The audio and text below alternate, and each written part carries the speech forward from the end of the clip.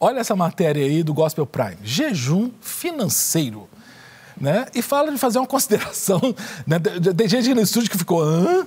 como é que é isso, né?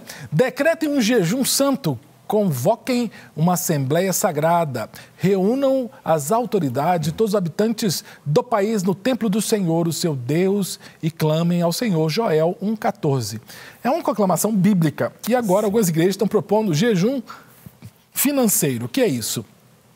Você uh, não se abstém da água, ou do líquido, ou do alimento né, material físico. Você se abstém de gastar. Eu achei interessante essa prática, porque hoje em dia a gente vive uma sociedade de consumo tão forte Sim. que a gente se acostumou a gastar. No interior, gente, eu lembro quando era criança, sempre nas férias eu ficava, ia para a fazenda que vovô morava, o vovô era caseiro de uma fazenda, né? A gente ficava lá um mês isolados e a gente não usava dinheiro, porque não precisava, era tudo uhum. na base do escambo, né? Sim. Será que não, não, era interessante a gente, de vez em quando, fazer um, um, Não sei se seria um jejum, um voto, sabe? Parar de gastar um pouquinho? Ô, Cássio, eu acho o seguinte, a gente é, critica muito, a gente ouve criticar muito, a gente às vezes critica muito sobre questão de dízimo e tudo mais, que é, são 10%. Mas eu costumo falar lá na igreja, de nada adianta, opinião minha, sabe? Você trazer os 10% e santificá-lo e gastar os outros 90% de forma totalmente desordenada que vai alimentar a indústria das trevas. É. Verdade. Então, eu tenho esse entendimento. Eu gosto de usar muito o texto de Mateus, capítulo número 28, a partir do verso 12, quando os, os, os vigias, né, eles chegam até os, os principais sacerdotes e afirmam que o corpo de Jesus sumiu. Sim.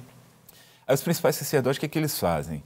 Eles chamam os vigias e falam assim, olha, vamos falar que de noite os discípulos dele chegaram, roubaram o corpo dele e nós daremos a vocês muita soma de dinheiro e se chegar até o suborno, governador. Suborno é, básico. Se chegar até o governador, a gente segura a onda lá e tal. Então eu acho esse texto muito interessante, por quê?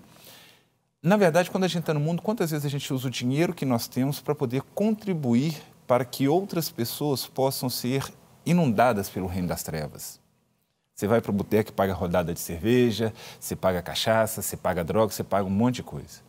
E quando a gente vem para o Senhor, a gente começa a ficar relutante em investir no na reino. obra, uhum. investir no reino. Então, talvez esse jejum ele seja interessante, por quê? Porque jejum é aquilo que vai me fazer voltar para Deus. Isso. Talvez esse jejum ou voto, talvez ficou assim, ah, jejum financeiro, mas talvez ele seja interessante a partir do momento que eu comece a reavaliar os meus gastos financeiros. Com que de fato eu tenho gastado? É me abster de gastar. Porque para muitos, né, Davidson, a, a, eu já ouvi vários relatos disso, psicólogos dizem isso, psicólogas dizem isso, que há pessoas que têm um prazer no consumo, um prazer Sim, em gastar. Extremamente consumistas. Estão de, deprimidas, aí eu preciso ir no shopping para gastar alguma coisa. Sim, né? e é uma prática do dia a dia. Então, quer dizer, às vezes a gente está triste, ah, estou deprimido, vou enche a cara de sorvete, vou tomar é. sorvete, aí vou fazer e tal.